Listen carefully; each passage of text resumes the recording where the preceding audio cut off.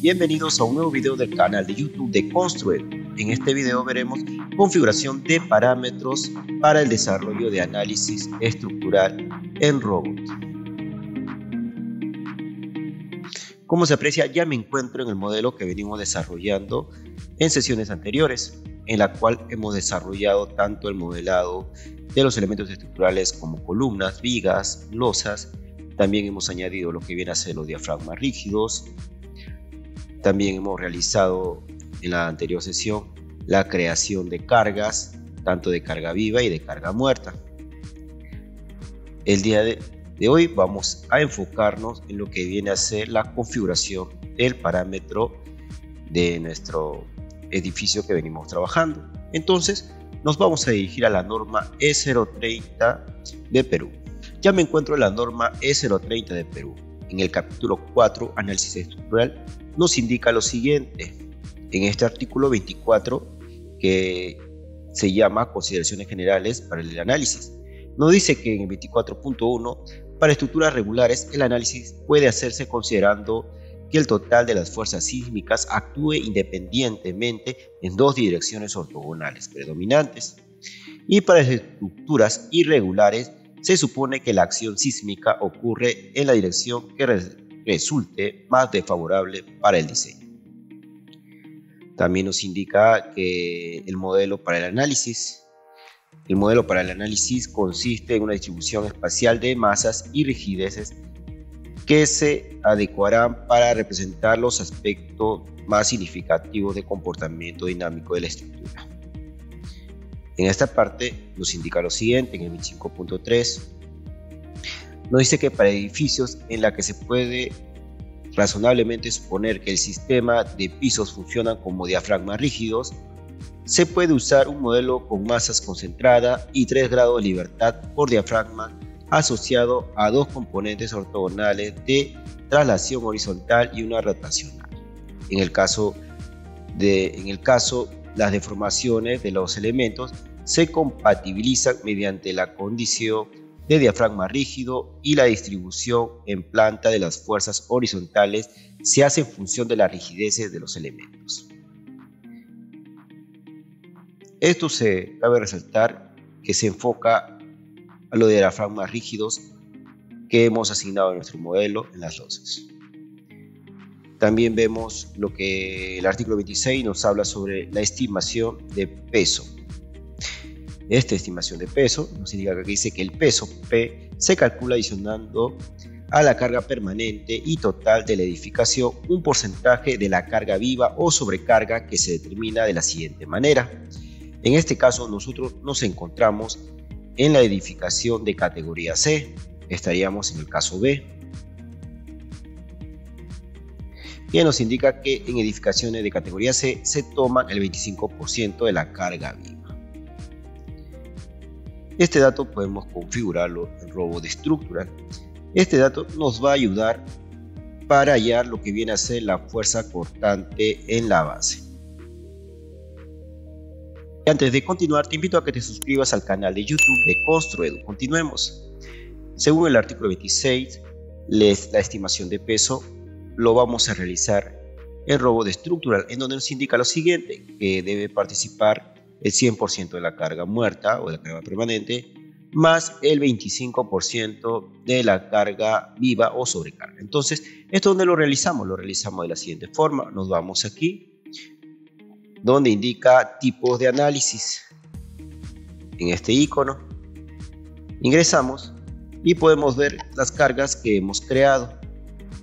La carga permanente viene a ser las cargas del propiamente del modelo que hemos realizado, de las columnas, de las vigas, de las losas que hemos realizado en, el modelado. Y las cargas muertas son de 172 kilogramos que hemos añadido en las sesiones anteriores, donde considera 100 kilogramos por metro cuadrado de acabado, peso de acabado, y 72 kilogramos el peso del ladrillo del techo. Y la sobrecarga según la normativa nos vamos aquí a cargas y conversión. Aquí vamos a añadir lo que viene a ser según la normativa de E030 de Perú. Entonces vamos a convertir los casos. vamos a indicar acá. Ya no lo voy a asignar la permanente, ¿por qué? Porque robot hace su propio cálculo y hace la misma conversión. Entonces, si lo, si lo añado, lo va a considerar doble. Entonces, no lo voy a añadir, solamente voy a añadir la carga muerta.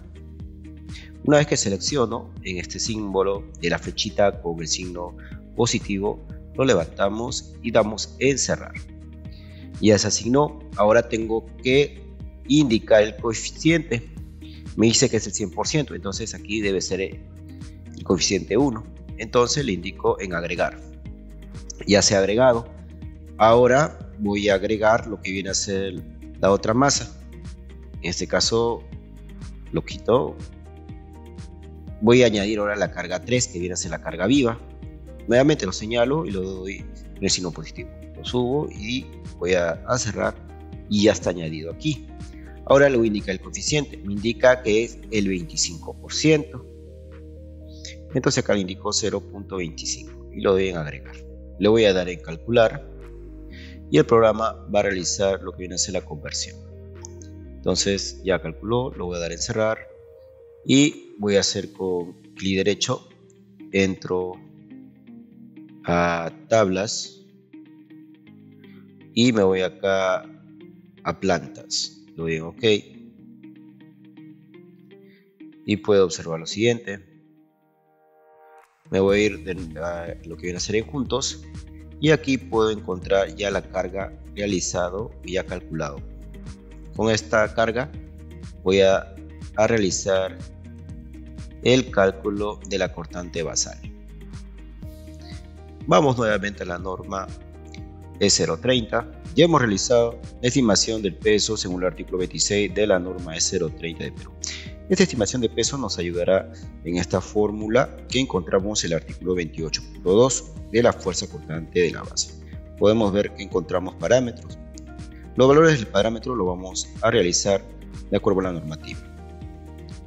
Pero antes de realizar esto, vamos a leer un poco sobre el procedimiento de los análisis. Nos indica lo siguiente, que el análisis se utiliza uno de los procedimientos siguientes, nos indica que el análisis estático de fuerza estática equivalente o el análisis dinámico modal espectral, el artículo 29. Nos indica también que el análisis se hace considerando un modelo de comportamiento lineal y elástico con las solicitaciones sísmicas reducidas. Vamos a ir al artículo 28, nos indica lo siguiente. El análisis estático o de fuerza estática equivalente nos diga que en sus generalidades nos diga que este método representa las orientaciones sísmicas mediante conjunto de fuerzas actuando en el centro de masas en cada nivel de las edificaciones. Asimismo, nos indica lo siguiente, que puede realizarse mediante este procedimiento todas las estructuras regulares o irregulares ubicadas en la zona sísmica 1. Para aclarar que Perú tiene cuatro zonas sísmicas, pero solamente se puede realizar, por ejemplo, este análisis en estructuras irregulares o irregulares en zona sísmica 1.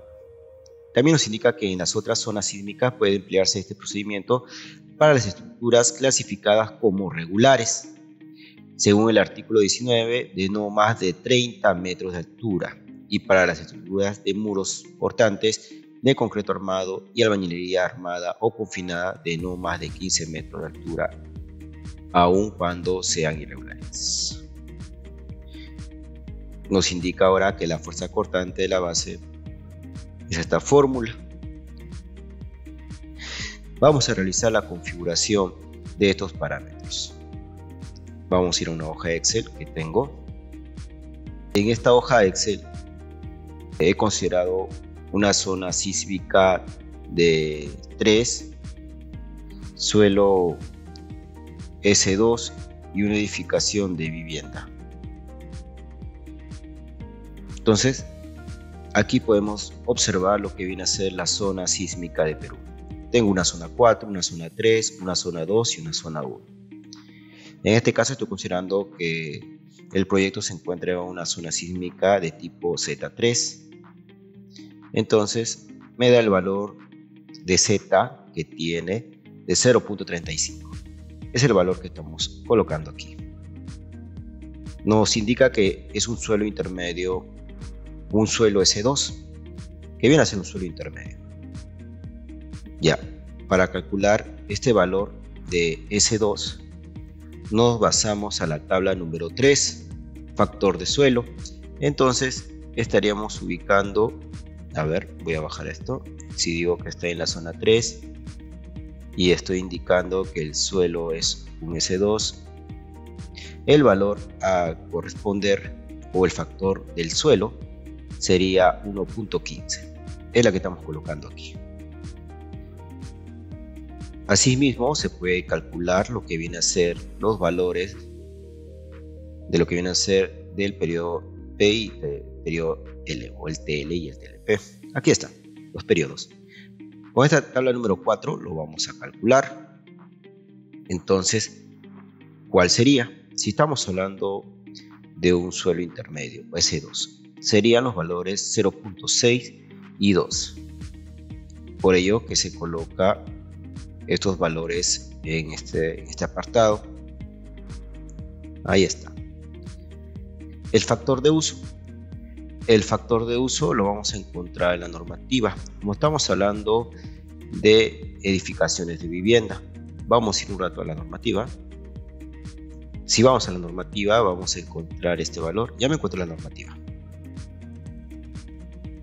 Esto lo vamos a encontrar en lo que viene a ser en esta tabla, la tabla número 5 de categoría de las edificaciones.